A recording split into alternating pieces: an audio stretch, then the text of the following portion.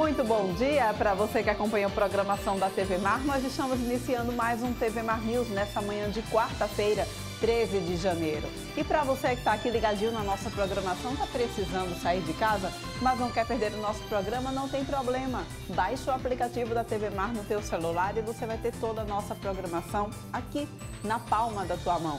A gente também está passando ao vivo lá no portal Gazeta Web e o endereço você conhece muito bem. Acesse com a gente www.gazetaweb.com e você, além de acompanhar a nossa programação ao vivo, vai também se mantendo muito bem informado sobre tudo o que acontece aqui no nosso estado, no país e no mundo inteiro. E olha só, a TV Mar também está presente nas redes sociais. Segue a gente lá no Instagram, também no Facebook, acompanhe a gente lá no nosso canal do YouTube, onde você vai poder ver e rever as nossas matérias, entrevistas, programas e reportagens especiais. E é claro que a gente sempre inicia o TV Mar News lembrando que o nosso programa é um oferecimento do Plano de Saúde AP Vida, aquele plano de saúde completo para toda a família com cobertura odontológica e que agora te dá também a possibilidade de acompanhar o resultado dos teus exames e fazer marcações de consultas da tua casa. Exatamente, através do teu celular, do teu tablet ou do teu computador. Se você ainda não tem plano de saúde, pense em APV desse aqui, ó, Saúde para Valer, tá bom? E é claro também que a gente não pode perder o hábito de abrir o jornal aqui nas nossas manhãs. Vamos abrindo então o jornal Gazeta de Alagoas, tradicionalíssimo jornal aqui no nosso estado, acompanhando as novas tecnologias também, não é isso? Abrindo a Gazeta de Alagoas também no teu celular, também no teu computador e a gente confere aqui na tua telinha os principais destaques da manhã de hoje. Dívida deixada por Rui faz a empresa suspender coleta de lixo. JHC denuncia via ambiental e determina a retomada imediata de serviços. Povo não pode pagar o pato, diz prefeito. Plano estadual, vacina da AstraZeneca deve ser primeira a imunizar em Alagoas. Número de casos de Covid-19 em Alagoas cresce 23% no início do ano. Movimento em centrais de triagem sobe mais 20%. Casos de zika, chikungunya e dengue caem no estado. O fechamento da Ford fará vendas de carro recuarem 12% aqui no estado de Alagoas. Henrique Castelli, inquérito sobre agressão está em fase final. E Collor defende nova abertura comercial para reduzir impactos do custo Brasil. Senador lembra que a última grande ação para atrair investimentos foi no seu governo e diz que retomada da economia requer estratégias que incluam é, reforma tributária e fortalecimento da educação. CBTU apresenta projeto para levar VLT à parte alta de Maceió. Sindicalistas repudiam plano de demissões no Banco do Brasil. E Polícia Civil, policial civil fica ferido e três morrem em confronto. E a gente tem aqui destaques sobre o esporte. CSA perde para Paraná, mas se mantém no G4. E tem gente aqui, viu, na nossa na TV Mar que está triste por conta disso, né? Marcinho que o diga. E a gente tem inclusive Márcio já aí ao vivo com a gente, tem? Márcio André Viderlan Araújo para trazer informações para a gente a respeito do retorno às aulas da UFAL. Quem traz informações é Viderlan. Bom dia para vocês. É isso mesmo, Porlane Santos, ótimo dia para você, ótimo dia para os telespectadores da TV Mar Canal 525, pela NET Claro, pelo portal Gazeta Web. Estamos iniciando nesta quarta-feira com muita informação e falar com muita alegria do retorno do calendário referente aos semestres letivos de 2020 pela Universidade Federal de Alagoas. Isso mesmo, Porlane. O retorno é referente ao calendário de 2020. São 10 meses de prejuízo para os alunos praticamente e os professores e a UFAL agora se prepara para poder remotamente realizar as aulas com esse calendário sendo cumprido e naturalmente algumas atividades também presenciais, como manda o decreto que libera exatamente o decreto do governo do estado já para o final desse mês, início do mês de fevereiro, o retorno das aulas presenciais aqui em Alagoas. Nós vamos conversar a respeito desse assunto com a Mauri Barros, ele que é pró-reitor de graduação da Universidade Federal de Alagoas.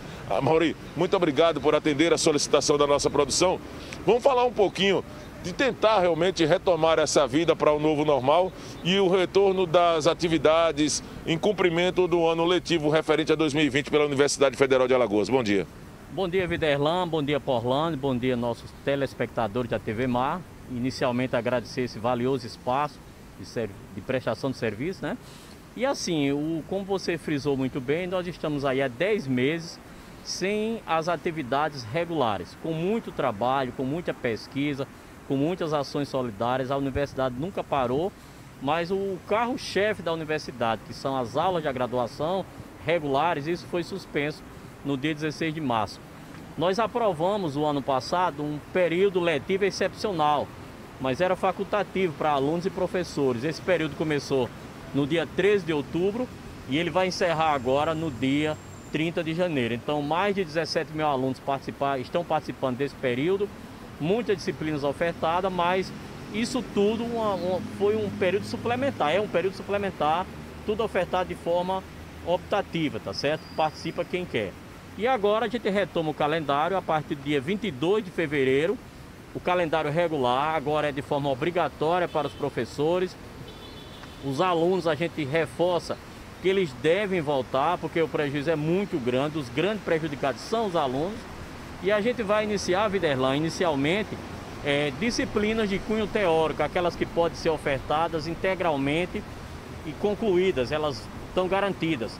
Além disso, a gente vai estudar com os fóruns setoriais a oferta das disciplinas de caráter prático, disciplinas que dependem de laboratório, de clínica, é, de, sei lá, de um estágio, aula de campo. Então essas vão ser discutidas nos fóruns, obedecendo a protocolo de biossegurança com todas as garantias que a gente precisa. Então a gente vai começar na próxima semana, já temos reunião agendada com o Fórum de Saúde, por exemplo, e depois com os demais fóruns. Então é feito com muito cuidado. É bom dizer também que os estágios obrigatórios de área de saúde eles estão funcionando. A gente ofertou ano passado, através de uma portaria específica, os internatos da medicina e os estágios obrigatórios da área de saúde começaram de forma presencial, garantimos EPI para os alunos, tá? Então a gente vai, na medida do possível, retomar a vida porque o prejuízo é muito grande para os nossos alunos. Agora, naturalmente, essa paralisação, Amauri, ela provocou também mudanças em alguns sentidos, principalmente na forma de operação.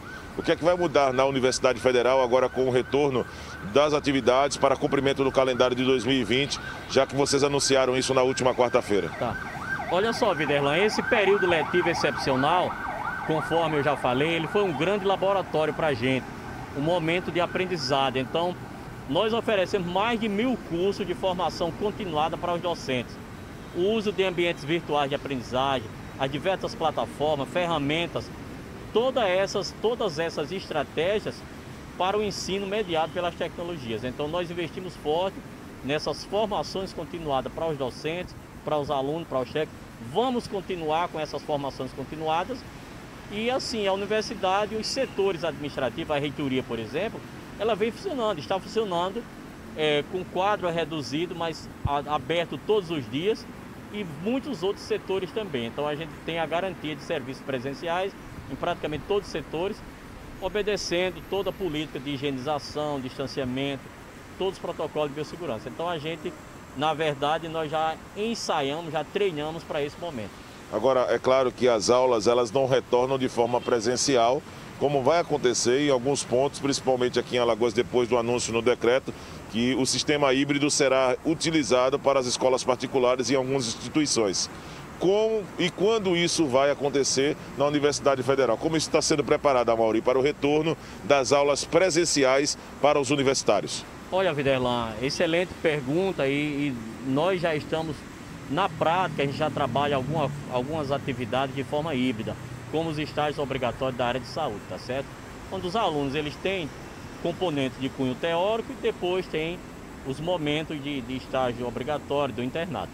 E a, e a ideia, a nossa ideia é avançar gradativamente, tá certo? Com muita segurança. A primeira preocupação é com a vida e em seguida, é claro, a preocupação com a vida acadêmica dos alunos. Então nós estamos nos preparando para isso. Os ambientes, as salas já foram sinalizadas, distanciamento das cadeiras e estão sendo providenciados mais equipamento, mais EPI, equipamento de higienização. Então tudo isso está sendo providenciado e a ideia é que a gente vá avaliando gradativamente esse processo, continuamente, a depender do cenário, do cenário epidemiológico. Se a gente tem, por exemplo, a vacina em poucos dias, então a gente pode mudar o nosso formato e passar a trabalhar de forma híbrida, integralmente e futuramente presencial. Agora é claro que esse posicionamento, inclusive, foi passado pelo, é, pelo presidente, né, o, o reitor da UFAL, o José Aldo Tonholo, que é por causa também do cenário de incertezas em relação à Covid, as aulas presenciais elas não serão retomadas agora. E todos nós sabemos que a UFAL ela tem como histórico também uma grande participação de universitários, principalmente em decisões e debates bem acalorados nas questões políticas. Até que ponto isso prejudica o trabalho para um retorno à retomada das atividades. As posições políticas entre um aluno e outro, entre um estudante e outro, e até mesmo os professores com suas posições diante de um país que vive exatamente um quadro de incerteza também em opções em que um lado e outro defende, inclusive esse caso ficou exposto pela escolha da vacina, Amaury. Ok, olha só, Viderlan, é, a Universidade Federal de Alagoas ela tem uma comunidade de 27 mil alunos. São 24 mil de graduação e aproximadamente 3 mil de pós-graduação. Nós estamos em oito cidades e nós recebemos mais de 3 mil alunos de outros estados. Então, é um grau de complexidade muito grande. E diversos pensamentos. Então, é o preço da democracia. A gente precisa discutir exaustivamente na base. Só para você ter uma ideia, essa resolução a gente discutiu aí nos diversos fóruns, vem discutindo há mais de dois meses. Foram 12 horas de reunião na Câmara Acadêmica e depois, por falta de espaço, de tempo no calendário, foi aplicado um de referendo e vai voltar para o Conselho Universitário. Mas enfim, isso faz parte do processo democrático, as decisões são colegiadas, tá certo? Então é o bom preço da democracia. Então a gente está é, tá ciente de tudo isso, são pensamentos do mais divergentes, possível, todos eles são valiosos, a gente trabalha com equilíbrio, com muito respeito às diversas opiniões construtivas, tá certo? E a gente precisa proceder dessa forma, porque tudo isso tem amparo legal e tem as instâncias deliberativas. O fato é que são 10 meses de paralisação das atividades e que esse retorno começa a partir de quando, Maria? Olha, o retorno ele está agendado para o dia 22 de fevereiro, logo após o carnaval. Nós temos expectativa da ampla maioria das disciplinas da oferta de praticamente tudo. Porque nós temos dificuldade, Viderlan, tem cursos que são experimentais, cursos de caráter prático. Odontologia, por exemplo, 75% das disciplinas são de caráter prático. Sim. Biologia também, outros cursos também. Então, isso será feito com muito cuidado.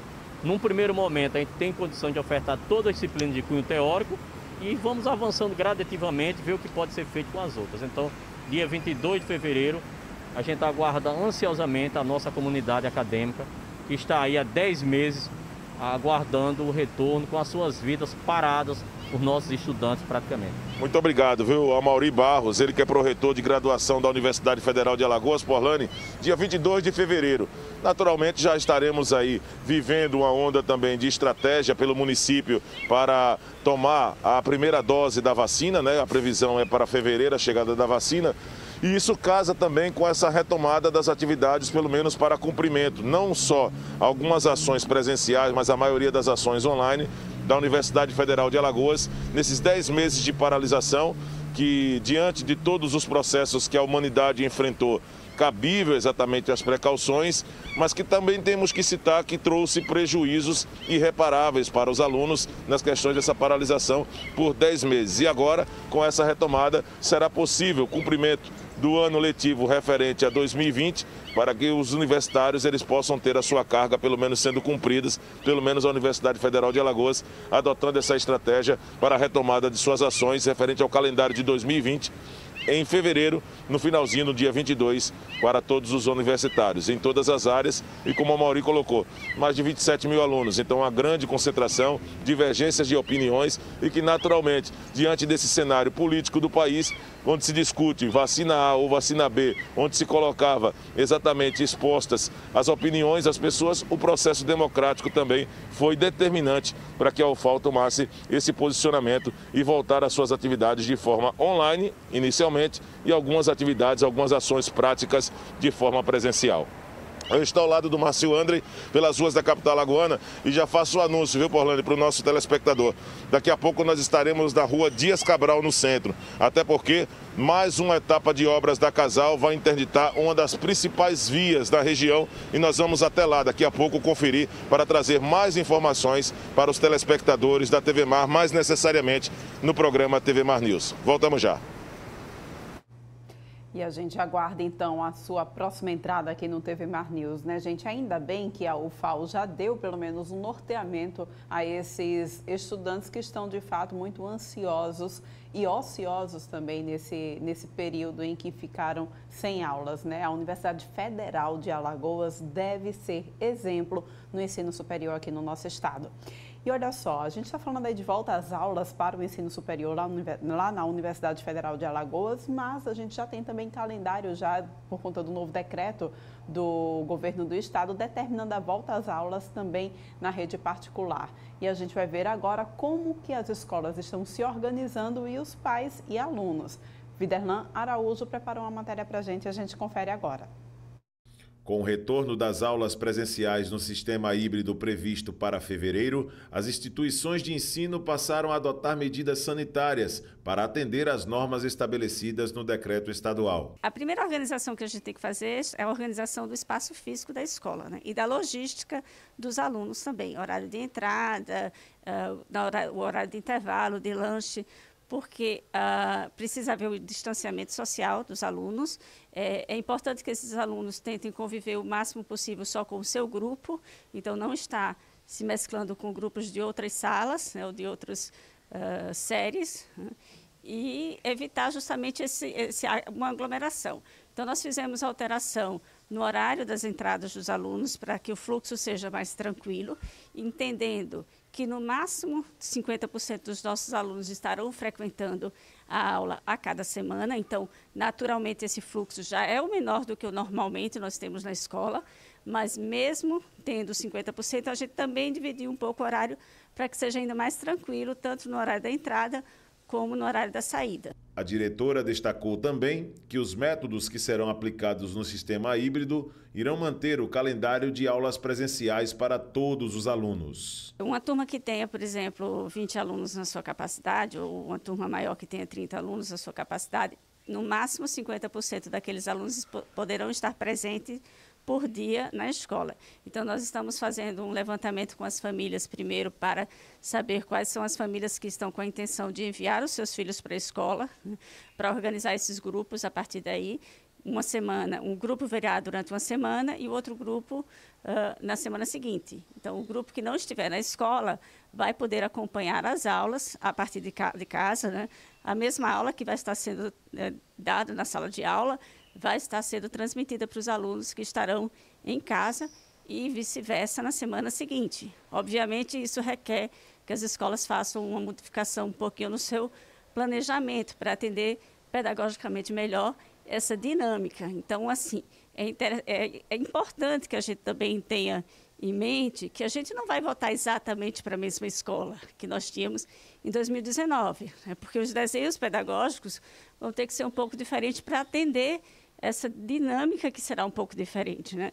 Todos nós estaremos vivenciando isso né, de, da primeira vez, agora em 2021. Marcele é publicitária e mãe de Ana Clara, e assim como muitos pais, ainda trata o retorno das aulas presenciais com certa preocupação. Ainda para nós, como pais, são, é uma incógnita ainda esse retorno. Né? A gente tem tenta ter todo o cuidado, né? Mas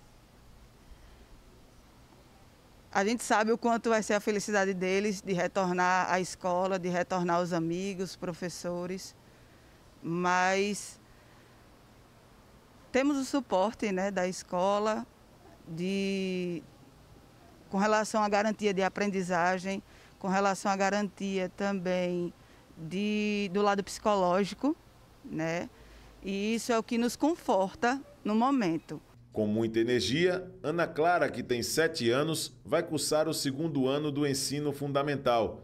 Ela não vê a hora de voltar ao contato com as amigas. Eu gosto das minhas aulas online, mas eu prefiro ir na escola mesmo.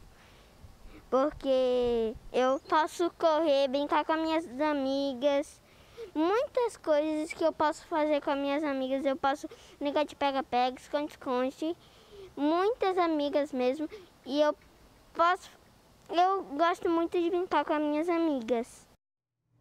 Oh, gente, difícil, né? Foi esse ano de 2020 e a gente espera que tudo volte então à normalidade, né? A gente vai agora para um rápido intervalo, mas volta daqui a pouquinho trazendo mais informações para vocês. Não sai daí.